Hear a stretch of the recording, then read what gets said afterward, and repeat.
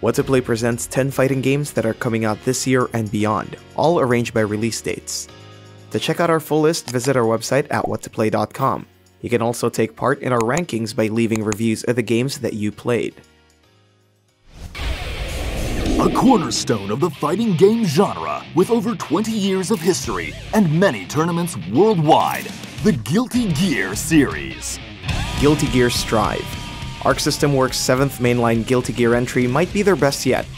Strive's newly implemented rollback netcode can finally give players a smoother fighting experience. It's still in its open beta phase, so you can participate in its development to check for issues.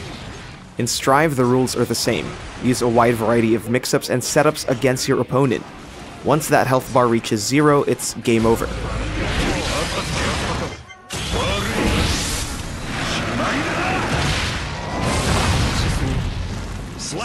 But you know Guilty Gear is more than just pressing buttons and hoping they die. Learn to cancel attacks with its myriad of techniques that help you in a pinch. It's fast-paced and it requires months and months of training to understand each of its unique characters, which range from badass to downright eccentric. Coming this 11th of June for the PC, PS4, and PS5.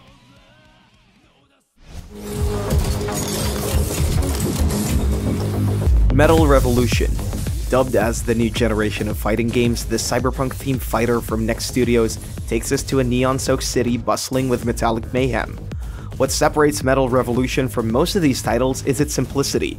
It's not aiming for complex button inputs that require a gazillion hours of training. It's a game where you press a button and your character does cool shit. But that doesn't mean it's not complex. Think of it as Smash, as it involves perfect parries and contextual movesets. It's slated to come out in June 2021 for the PC.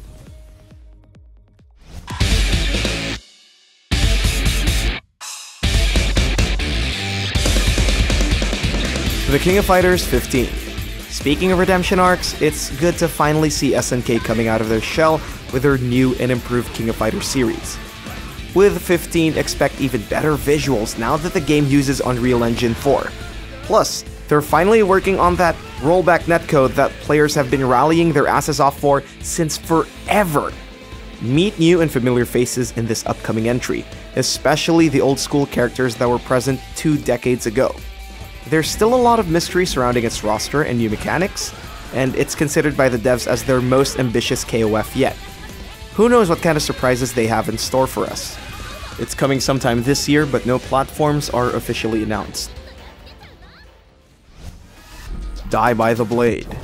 Learn the ways of the samurai in this 1 vs 1 fighting game from Triple Hill Interactive and Toko Midori Games. Master the blade and brutalize your enemies with your sword fighting prowess.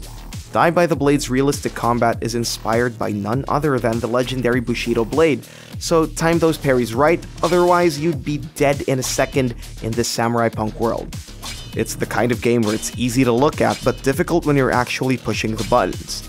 Its complex mechanics rely not on its wide cast of characters, but with the weapons and how one wields it. It's coming to the PC, PS4, and Xbox One sometime this year.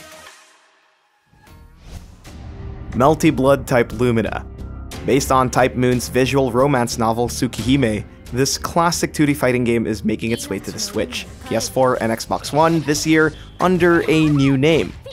Type Lumina introduces a cast of over 10 major characters with improved visuals far from their 2002 look.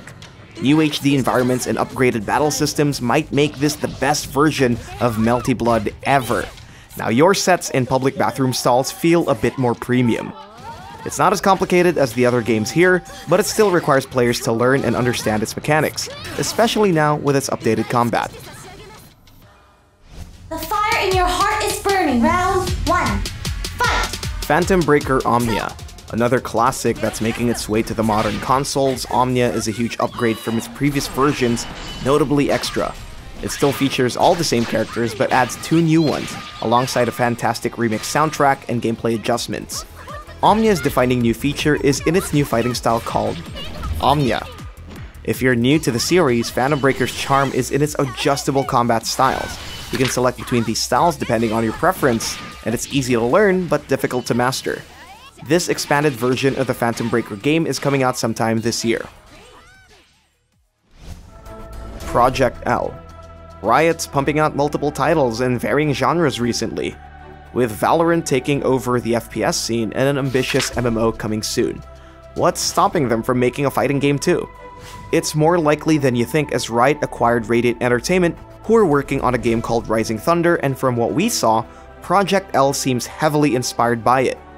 It's based in the world of Runeterra, but that's pretty much what we know about the game right now. We might see some of our favorite characters duke it out in epic fighting game action. This is also Riot's first game of this caliber, so it might take some time before we get our hands on this one. The game is still early in development, so don't expect a beta this year.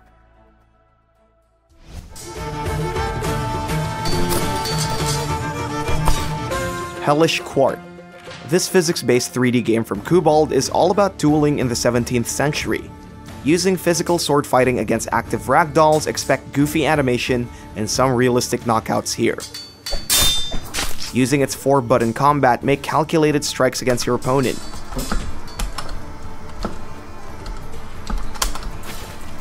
Alright, that was easy. You can select from a wide variety of weapons ranging from sabers, rapiers, broadswords, and more. It's still on Steam's early access, so expect some minor hiccups when playing with friends in its local multiplayer. Unfortunately, there is no actual online play yet, just Steam's remote play feature. No full release date yet. King of the Hat. This 2D fighting game from Business Core Incorporated is all about characters throwing hats at each other. Yeah, we've gone from realistic sword combat, netcode changes, and classic anime fighters to this. Play with up to 4 friends in local or online multiplayer. Use your hat as a weapon to take down your opponents, but don't let them crush yours. Its hilarity knows no bounds as the game even lets you play as a washing machine. With a varied selection of characters, each with their unique hats, this 2D fighter might be the best one on the list. No release date yet. Street Fighter 6 Capcom's impressive rollout of games recently has given us hope that they might finally give their Street Fighter franchise a chance at redemption. Just a heads up, this is in no way a confirmed game. So no announcements, no news, nada. We're banking on the recent leak that discussed a certain Capcom 6 on their papers. What that Capcom 6 may be, we do not know. But the internet sure loves speculating, and they can only wish that it's finally the Street Fighter game they've been waiting for. Of course, at the end of the day, it's just a rumor. But one can dream. No release date yet, obviously,